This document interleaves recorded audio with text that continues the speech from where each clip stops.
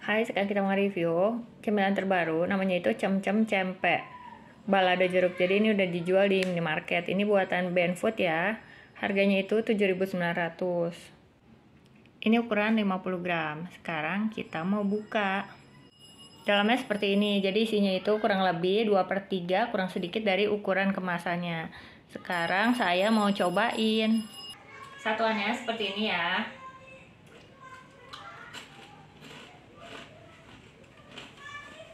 Crunchy berasa balado ada wangi jeruknya rasanya itu pedas agak asin gurih. Nanti kalau kamu nyobain kamu bisa coba beli di minimarket yang ada di sekitar kamu harusnya udah pada jual. Jangan lupa subscribe channel ini untuk review makanan-makanan dan minuman-minuman terbaru yang ada di sekitar kamu. Terima kasih